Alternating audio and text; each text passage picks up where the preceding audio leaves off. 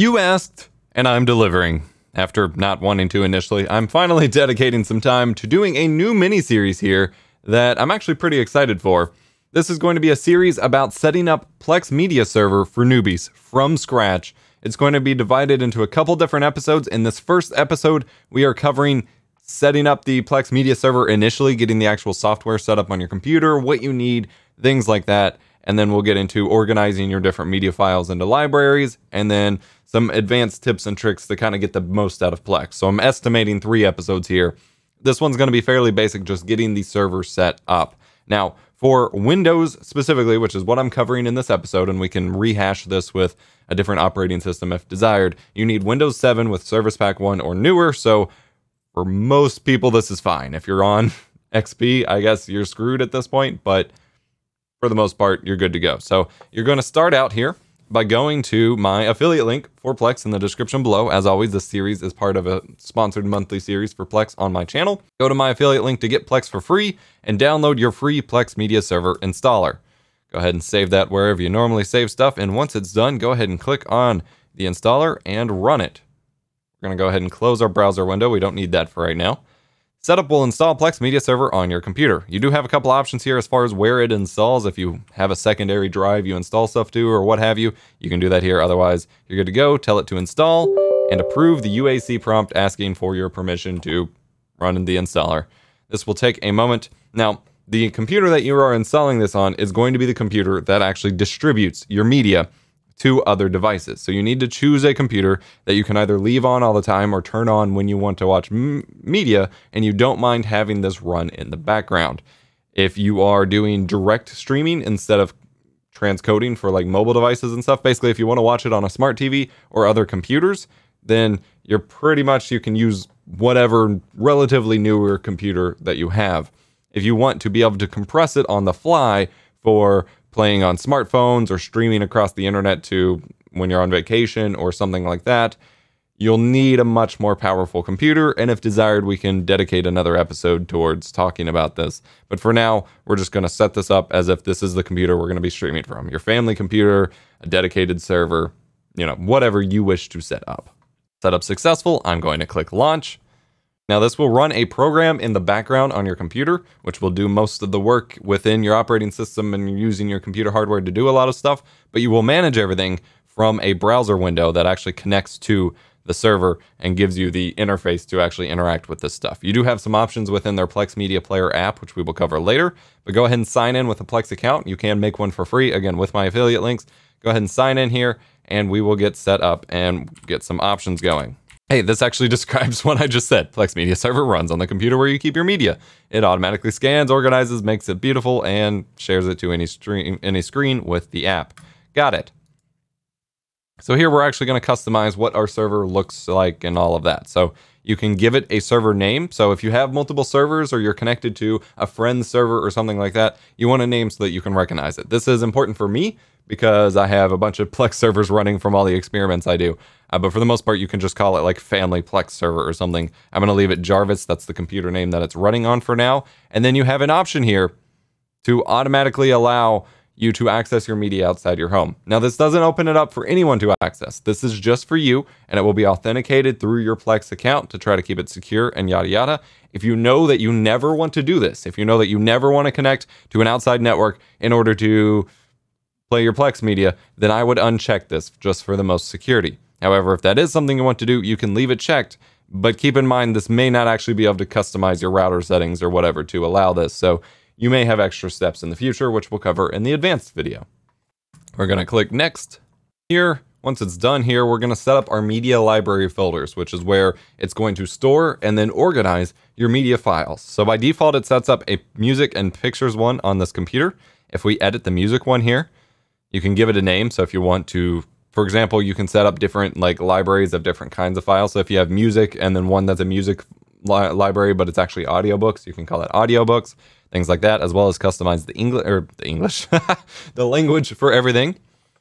Give it a name. I'll just leave it as music. And then you add folders, which is where you, it is pulling the media from and where you are actually storing your media. So it pulls the default music folder for this computer, I'm going to leave that there. I'm not actually messing with music a whole lot, but I do want to have the option here while we set this up for the tutorial. So you can change where you actually want to store it. So for example, by default here, this is pulling the default music, movies, documents, videos, folders that Windows automatically sets up for your profile, which is, for a lot of people, probably what you want. But if you have a dedicated like hard drive that you're setting up for Plex, or you have a dedicated movies drive that you have, be it an external or an internal, my Plex servers used to run a whole bunch of external hard drives, then you can change it here. So for example, I can come in here and say this record folder is my music folder, then I can tell it my secondary hard drive music folder is my music library. But I'm going to leave it as that folder for now. Under options, you have two different settings depending on your account. If you have a Plex Pass, and if you want to sign up for one, use my affiliate link in the description below, of course, as always. You can create a uh, Plex me Premium music library, which will automatically find lyrics and it will automatically create mood playlists based on your music. You can tell it to do things like that. We're going to create a basic music library for now, which will still pull metadata, will still allow you to organize your music, but doesn't have some of the more advanced features because I'm going to assume you don't have Plex Pass yet. You're probably not convinced that you need it yet. We'll get to that. I do have a whole video going over the feature differences in the description if you want to check that out. Click next. All right, here you have a couple more advanced options under advanced here. Uh, these are totally up to you, and for the most part, you can probably just ignore them if you're not wanting to. Include in dashboard. So if you have a if you have a library that you're adding that has more sensitive videos or music or whatever that you don't want made abundantly obvious every time you open up Plex or every time your family opens up to Plex, you can actually have it kind of not emphasize or show or feature those files and you have to manually find it. For most people, you want that included on your Plex dashboard, which is what this option is for. As far as album sorting goes, you can have the library default, which will have you have a few different options, and usually it's by newest first, but you have a few different options here. You can have it sort by name, oldest first, newest first, whatever. I'm going to sort by newest first. Use embedded tags. So if you have files, this was much more common during Windows Vista, but there are still some files that have tags within the actual file's metadata, such as the genre of the music, the description of the file, like it had actual tags like a YouTube video would have. You can have it try to pick those up and include that to help find metadata. You can use that. Store track progress. So this is something that some people really love and then some people don't want, of course. And that is if you play a song and then you pause it and go do something else, whenever that song comes back up, it's already going to know where you are. For normal music playing, you probably don't want this at all. But if you are storing podcasts or audiobooks, you would want to include that. That way, when you go back to the podcast or audiobook, it knows where you are in that file and you don't have to start it over from the beginning. So it depends on what files you are using here, which is why I mentioned you might want separate audio based libraries that aren't just music, but you know, music and audiobooks and podcasts and things like that. So I'm going to leave that unchecked for my music Include related content from shared libraries. So if you have other Plex libraries shared with you from friends or family or what have you, it can actually include that in your library here for suggestions like, oh, you have one song by this artist, but this other library in your account has more songs from it. Go check that out. Now, the agent is what it uses to find the metadata for your music. So the artist, the title, things like that. For the most part, just leave it on last.fm unless you have a reason not to. And you can uncheck some of this stuff. I'm actually going to uncheck download concert information because I don't care about that and I don't want it wasting time or data. Just set that up. Easy. Then click add library. So that set up the music library. We're going to run through the photos library next. I'll leave this as photos. Language, none is fine. I'll leave it on English just to be safe, but your photos don't usually have a language. add folders. Again, it's going to detect the default photo pictures library on Windows. That is fine. Options. Again, a PlexPass feature is to automatically tag your pictures based on uh, neural net detection of what's in the photo. If you prefer your privacy and for it not to scan that stuff, of course, say no thanks. It is an option. I'm going to leave it on no thanks for now. They do have information about how your privacy is maintained and yada yada for all of that, but it does send some information from to a third party source temporarily, so a lot of people are concerned about that. You have the option of turning it off, and you don't even have the option of using it unless you have a Plex Pass. And then again, under Advanced, including Dashboard, Video preview thumbnails. So if you have videos in your pictures library, it can give you preview thumbnails that it automatically generates. It takes a little bit more processing power, so you might not want to do that, but it's there. And then it can save the location names of pictures that have metadata attached to them if you have a camera that has GPS or something like that, or your phone. So I'm going to leave all of that as is, click add to library, and then we're going to make a new library that isn't automatically generated here. We're going to make one for movies. I'm just going to call it movies. add folder. I don't actually have a folder for this, so I'm going to have to go back out to Explorer and make a folder for it. I have this 500 gig hard drive I'm not using here. I'm going to make a new folder. I'm going to call this movies. And I'm going to make another one, call it TV shows. So I'm going to go to browse for media folder, that F drive, movies, add that folder. And then I will add all of my movie rips that I rip from Blu-rays and DVDs to that folder. Go to advanced and again, include in dashboard. You can include cinema trailers to play before movies. I'm going to uncheck that. I find it to be a waste of time personally, but some people like getting that preview, kind of how Netflix delivers before you choose it. Again, generating thumbnails of the videos. Collections. You can choose whether it shows items that are in collections. So collections are kind of like playlists. You can create like a collection of all the Star Wars movies, and then it will show when you play one of the Star Wars movies that it's in a collection with others, so you can go view the rest of the collection that's up to you here. It's a pretty handy feature, but not everybody uses it. You can choose the scanner. You have video files scanner or movie scanner. So depending on what's in it, I'm going to use movie scanner for this one, but we'll set up another library with the other one in a moment. Agent, again, there's a couple different metadata providers. I leave it on default for now. Uh, if you have experience or people you've talked to in the forums that have better luck getting certain niche movies from other metadata providers, you can choose that there. That's what the agent are. Agents are. Localized titles. You can have it set to automatically basically translate the titles based on where things are from or leave them in their original languages if you have foreign films. Find trailers and extras automatically. I'm going to uncheck that for now.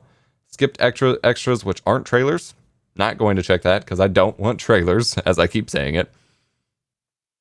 Use restricted audiences trailers when available, so you can get the like rated R trailers for movies instead of the PG trailers for R rated movies. Uh, included include extras with subtitles and library language. That's you know it, when you sort by language, it'll include. So if you have English subtitles for something and then you're sorting by English, it will include those based on the language. Cast list source again, you have different databases you can choose from. I'll choose IMDb. Rating source, I'll choose IMDb. Plot summary source, I'll choose IMDb.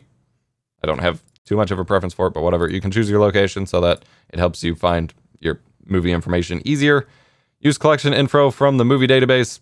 So if if the movie database itself already has like movies are in a collection together, like the Star Wars franchise or the Matrix trilogy or something, it can automatically pull that and help you out a little bit. I'm going to check that. Include adult content. Depending on your library, you may or may not want that. Again, click add library. We're going to make two more videos library libraries here. I'm going to kind of run through this a little bit quicker. TV shows, again, add folders. I'm going to choose that folder I made for TV shows. I'm going to click add, advanced options. They are mostly the same episode sorting, oldest or newest first or library default. I'm going to leave it on library default. It's basically season and then oldest the newest, you know, episode 1 through episode 26 or what have you. Collections, show them. We already covered that. Seasons, you can show or hide. I'm going to hide it for single season series. So if there's only ever a se single series of or single season of a series, I'm going to have it not bother showing seasons. It's more things to click through. Uh, but you can choose that yourself. Agent of, again, that's metadata. I'm going to leave it on TVDB. Find trailers and extras automatically. I'm going to uncheck. Include extras with subtitles and library language. I'm going to check. Add library. Now we're going to make an other videos library. And this is going to be called gameplay recordings. And so this is my recordings folder for all of the gameplay capture that I've done on this computer. So add to folders, browse media folder. We're going to go to E and my record folder. And I'm going to click add. Now for advanced, we have some slightly different options. Include cinema trailers. I'm going to uncheck that. I don't have movies. Preview thumbnails. I do want those, so I know what the heck I'm looking at. Again, I can show collections, and this is where that separate scanner comes in. Instead of a movie scanner, it's a video file scanner. It's just kind of more fine tuned to be like others instead of specifically movies or TV shows. I'm going to leave that or change it to that. Agent, personal media, Plex movie, Plex movie database. I'm going to leave it on personal media because there's nothing in here that it's going to find metadata for because it's all my own custom recordings. Add library. All right, we have successfully set up our different libraries for our media folders. So I'm going to go ahead and hit next. Now it will give you the option to get your Plex apps for your different devices. You can go ahead and do that if you'd like. It'll take you to a different web page with the latest downloads. So you have Windows, go to apps and devices. You've got the Plex Media Player for Windows. You've got, this does not show up very well on my monitor, but for Plex Media Server, there is Synology, QNAP, Docker, Linux, Mac, whatever for the apps for actually playing, you do want to download the Plex Media Player for Windows. You do not want the Windows Store version of the app. I have a whole video dedicated to this, linked in the description, but you want the downloaded option from their website, not the Windows Store version. But if you go to operating system, there's versions for Mac, Amazon TV, Apple TV, Xbox One, iOS, Android, whatever. Download your apps if so desired. And then we're going to click done. And it's going to go ahead and scan your folders. And it's not loading things since it's still in the middle of scanning and detect what is in your folders. Now, my movies, music, photos, and TV show folders are all empty. So the only one it has to scan is my gameplay recording folders.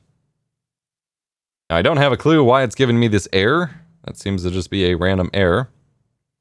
You can see here I checked the option for uh, being available outside my network, but it looks like, you know, it, it doesn't like my... I have a pretty stupid router set up at the moment, so it doesn't really like that. That's fine, but you will have to dive in more specifically with your specific routers and modems in order to port forward and things like that if you wish to set up remote access. That is a whole separate video entirely. All right, so a possible fix here based on how I set this up for this unexpected error may have to do with not running the server as administrator. So I'm gonna go ahead and close this management tab here, and I'm gonna go to my system tray, and I'm going to right click the Plex server icon and click exit. And then I'm gonna find the Plex option itself. So I'm gonna type Plex media server into the start menu, right click it, go to open file location, right click that shortcut, properties, uh, compatibility, and uh, where is the administrator? Yeah, run this program as administrator. Click apply. And then every time it runs, it should have more access to your folders, and that should theoretically fix the issue according to the forums. Then we open it up here. There we go. Now it's working. You can see here under our gameplay or under our dashboard, this is what your dashboard looks like for your Plex Media server. And this is what your players will show basically, depending on what app you're using. So it will show your recently added stuff and your recently added photos and things like that. So you can see some stuff I was testing with webcam tests, a random picture of an album I was listening to, screenshots I've taken, and then recently added photos. And then once you actually start playing stuff, it'll have like continue where you left off and it'll have sorted by TV shows and things like that. We only have a little bit in here at the moment. You can browse your different libraries. You can see, like I said, most of them are empty. In my photos library, I have these. We can check out my RuneScape screenshots that I accidentally took. Warframe screenshot, album artwork, Intel logos from old streams. Don't know what that was a screenshot of, but you get the idea. And then we can go back with that arrow there. You can go check out gameplay recordings. We can play one. It does not like the codec I used. That is pretty trippy. Oh, there we go. We're good.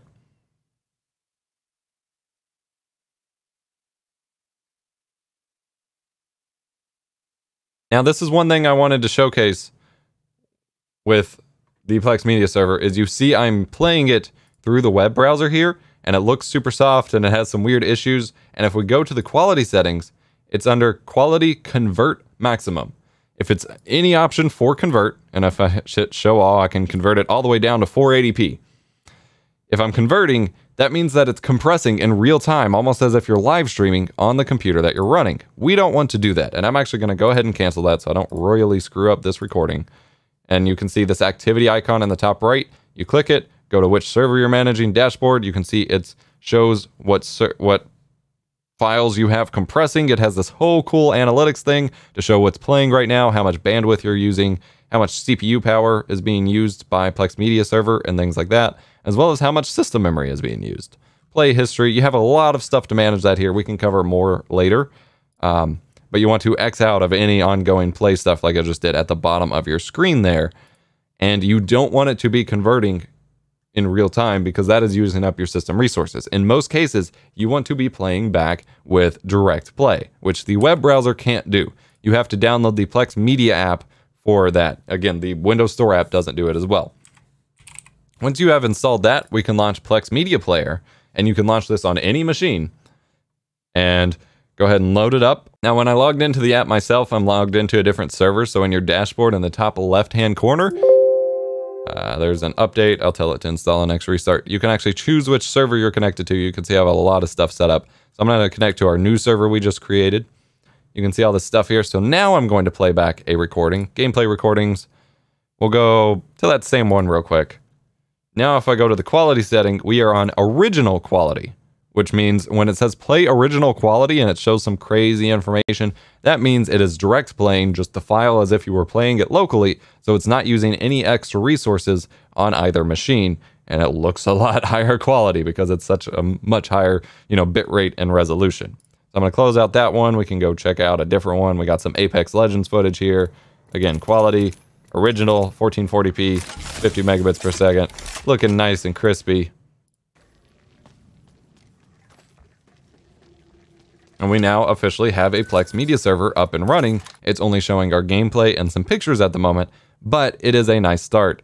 That's a pretty cool wallpaper. I don't remember getting that, but it's a pretty nice start for getting this going. So this is part one of my mini series of how to set up a Plex media server. And I mentioned that it would be roughly three episodes based on the different tiers that I set up here. But if you do have feedback, we can insert or change what future episodes look like since I'm doing one of these every month based on what you all want to hear. So do let me know in the comment section down below. Hit the like button if you enjoyed, subscribe for more tech education. Go check out my Plex affiliate links if you want to get set up. Again, you can get set up for free. Get going, and I have videos showing why more in depth why you want the Plex Media Player app from the download, not from Windows Store, as well as the free versus paid options, so you can get more information on that. I'm EposVox here to make tech easier and more fun. Thank you so much for watching. I will see you in a future video.